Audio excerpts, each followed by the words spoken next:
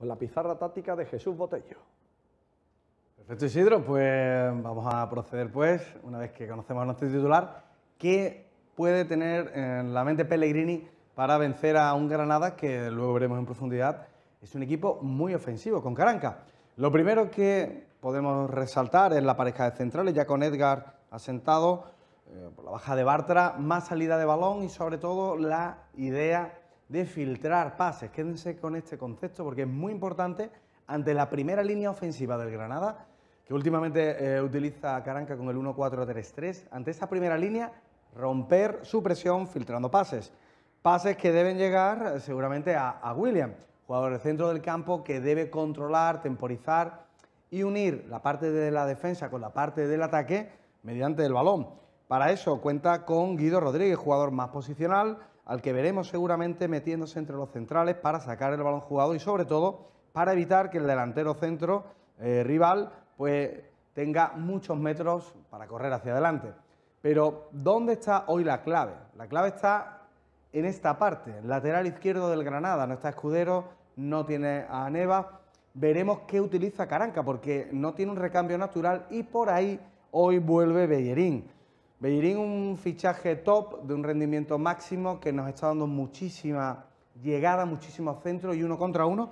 Y seguro que por ahí tanto Canales como Fekir van a intentar generar esos dos contra uno, eh, tres contra dos y el, interior vuelve. Pero por esa parte, hoy el Betis va a ser más incisivo. Por la otra banda, Alex Moreno. Últimamente sube menos porque los rivales ya eh, saben perfectamente cómo hacer daño al Betis en esos espacios que dejan los laterales atrás. Pero cuando sube, temible. Y la incorporación de Juanmi abandonando la banda para que con Borja Iglesias, siempre batallador, generando espacios, y sobre todo generando metros para que la segunda línea se incorpore, una segunda línea que hoy seguro con Fekir va a intentar Pellegrini estar más cerca de la portería rival.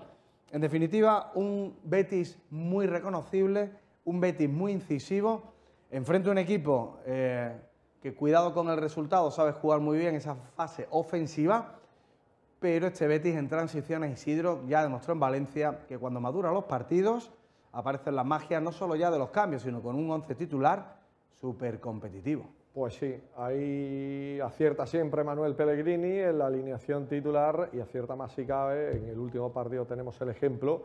Jornada de hoy, ojito, Botello.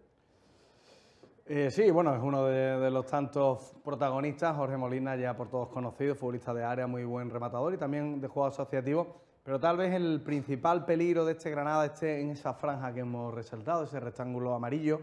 Por ahí tres nombres propios. El primero de ellos con Aloms, el ex de Roma, del Sevilla Fútbol Club, pivote defensivo muy aguerrido, muy posicional y un futbolista que si mantiene el equilibrio en el centro del campo le va a facilitar al Granada tanto defender como atacar. Por lo tanto hay que intentar moverle, hay que intentar que tanto Fekir aparezca por un lado como que Canales se meta por el contrario, para que el futbolista ex de León, entre otros equipos, pues sufra muchísimo. Y luego dos nombres propios. El primero, Alex Collado. Atento a este futbolista, fichaje, eh, podemos decir, estrella del mercado de invierno. El ex del Barcelona, Xavi, cuenta con él a partir de junio.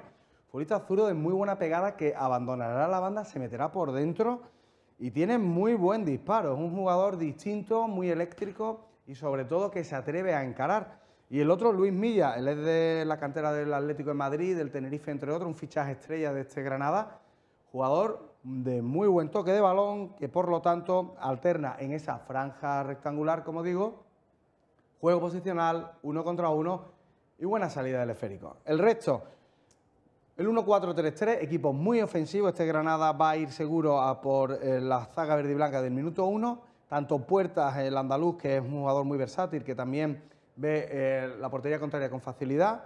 Y en el otro lado, Luis Suárez, yo creo que ya por todos conocido, ¿no? un magnífico futbolista. ¿Dónde está la duda? La duda va a estar en el lateral izquierdo. Veremos si es Kini o Arias, cedido por el Atlético de Madrid, el colombiano, el que jugará aquí en el lateral izquierdo, presumiblemente será Kini, pero es el lado más débil. Es el futbolista no habitual, la baja de escudero es por ahí por donde tal vez hoy, como dijimos anteriormente, Bellerín deba proyectarse más para intentar ese 2 contra 1 a una defensa del Granada, que recuerden, ha cambiado el discurso y es un equipo muy ofensivo. pero todos los equipos que priorizan el ataque y olvidan la defensa suelen caer ante las contras. Por eso hoy el equipo de Pellegrini, que sabe jugar con balón, también sabe hacerlo a las contras, va a tener seguro muchas opciones ante una defensa adelantada del rival.